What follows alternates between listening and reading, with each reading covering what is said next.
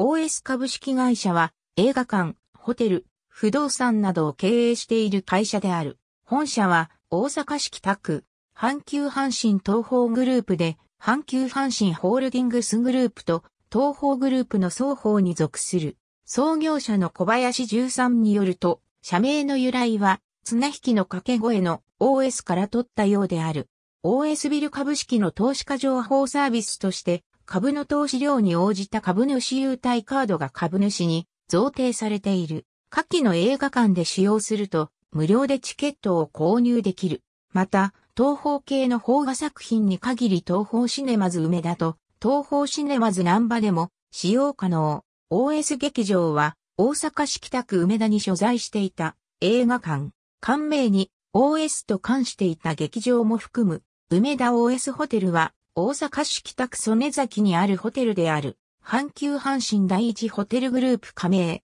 主にビジネスユースを想定したホテルである。同ホテルが入居する梅田 OS ビルは地上17階、地下1階建てで、地下2階が貸店舗、3階から上をホテルとして営業する。地階は谷町線東梅田駅へつながる飲食店街となっている。1階は JTB 東梅田支店、2階はインターネットカフェワン東、梅田店が入居している。なお、2016年1月6日をもって OS 運営としてのホテルの営業を終了した。建物のみ、阪急電鉄に無償譲渡し、内部改装の後、2016年2月5日からは、ホテル名称はそのまま、阪急阪神ホテルズの直営ホテルとなった。なお土地は OS が継続して保有し、阪急電鉄に賃貸する本社ビルや梅田 OS ビルなどの賃貸及び近年ではプレージアのブランドでマンションの開発も手掛けている。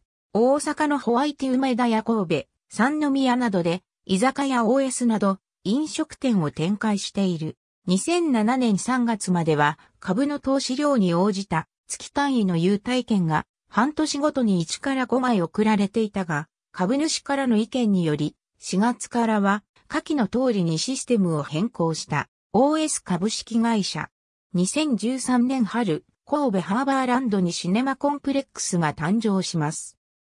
OS 株式会社。2017年6月30日閲覧。このインターネットカフェでは、ホテル隣の日光ビル前から発車する近鉄バスの高速バス利用者に対して100円で利用できるサービスを実施している。ホテル事業の廃止に関するお知らせ、梅田 OS ホテル、リニューアルオープン阪急阪神ホテルズ運営にて2016年2月5日より営業開始阪急阪神ホテルズ2015年11月12日、不動産、梅田 OS ビルと大阪日光ビルの一体開発検討を公表、梅田 OS ビル建物を阪急電鉄に売却、OS、マイナス建設ニュース2015年9月14日。ありがとうございます。